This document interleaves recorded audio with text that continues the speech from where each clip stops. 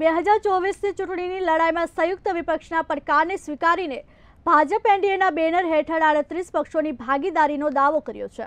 BJP અધ્યક્ષ JP નડ્ડાએ કહ્યું કે આડત્રીસ પાર્ટીઓએ મંગળવારે એનડીએની બેઠકમાં હાજરી આપવા માટે સંમતિ આપી છે. જોઈએ અહેવાલ. બે હજાર ચોવીસની ચૂંટણીની લડાઈમાં સંયુક્ત વિપક્ષના પડકારને સ્વીકારીને ભાજપે એનડીએના બેનર હેઠળ આડત્રીસ પક્ષોની ભાગીદારીનો દાવો કર્યો છે. બીજેપી અધ્યક્ષ જેપી નડ્ડાએ કહ્યું કે આડત્રીસ પાર્ટીઓએ મંગળવારે એનડીએની બેઠકમાં હાજરી આપવા માટે સંમતિ આપી છે અને તેમની સંખ્યા પણ વધી શકે છે. હકીકતમાં રાષ્ટ્રીય રાજધાનીમાં એનડીએની બેઠક આજે વડાપ્રધાન નરેન્દ્ર મોદીની અધ્યક્ષતામાં યોજાશે. પીએમ મોદીની આગેવાની હેઠળની કેન્દ્ર સરકારના નવ વર્ષ પૂર્ણ થવાના અવસરે નેશનલ ડેમોક્રેટિક એલાયન્સ એટલે કે એનડીએની બેઠકનું આયોજન કરવામાં આવ્યું છે. નડ્ડાએ એનડીએની બેઠકમાં આવનારા પક્ષોની વિગતો આપી નહોતી.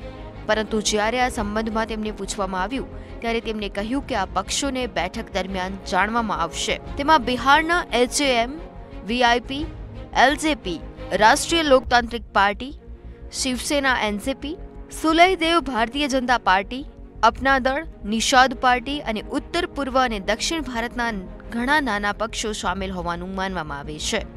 વિપક્ષી પાર્ટીઓ લોકસભાની લગભગ ચારસો પચાસ બેઠકો માટે એકજૂથ થઈને સામાન્ય ઉમેદવારો ઉતારવાની તૈયારી કરી રહી છે.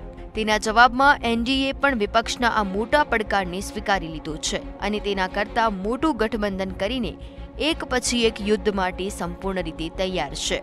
એનડીએ અને વિપક્ષી ગઠબંધન વચ્ચેના તફાવતને દર્શાવતા ભાજપના અધ્યક્ષે કહ્યું, વિપક્ષી એકતામાં જોડાવા જઈ રહેલા પક્ષો વાસ્તવમાં ભ્રષ્ટાચારીઓનું જૂથ છે, જે યુપીએ સરકારનો ભાગ હતા. જેમને વીસ લાખ કરોડથી વધુની લૂંટ કરી હતી, તેઓ માત્ર સ્વાર્થ માટે ભેગા થઈ રહ્યા છે. તેમણે કહ્યું કે આ પાર્ટીઓનો કોઈ ઈરાદો નથી, કોઈ નીતિ નથી અને ના તો કોઈ નેતા છે.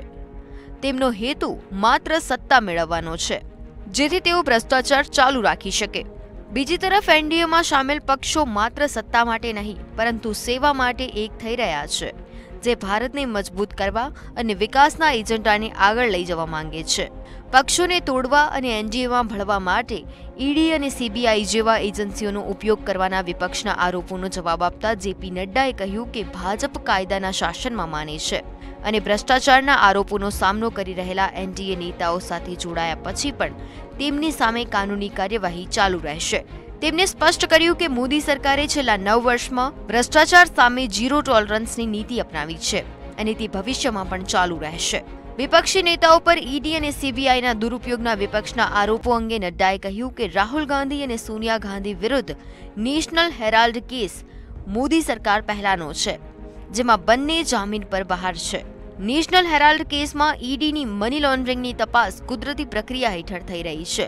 જણાવી દઈએ કે બેંગલુરુમાં વિપક્ષી પાર્ટીઓની બેઠક દરમિયાન કોંગ્રેસ અધ્યક્ષ મલ્લિકાર્જુન ખડગે, વરિષ્ઠ નેતા સોનિયા ગાંધી, રાહુલ ગાંધી, બિહારના સીએમ નીતિશ કુમાર, બંગાળના સીએમ મમતા બેનર્જી, તમિલનાડુના સીએમ એમ કે સ્ટાલિન, દિલ્હીના CM Arvind Kejriwal, RJD chief લગભગ ચાલીસ દિગ્ગજ નેતાઓ હાજર રહ્યા હતા. લાલુ પ્રસાદ યાદવ અને મહારાષ્ટ્રના પૂર્વ સીએમ ઉદ્ધવ ઠાકરે, અખિલેશ યાદવ, રામગોપાલ યાદવથી લઈને ફારૂક અબ્દુલ્લા સહિત વિપક્ષી છાવણીના નેતાઓએ ચર્ચા કરી હતી. એનસીપીના વડા શરદ પવારની પુત્રી સુપ્રિયા સુલે આજે આ બેઠકમાં ભાગ લેશે. બ્યુરો રિપોર્ટ મંતવ્ય ન્યૂઝ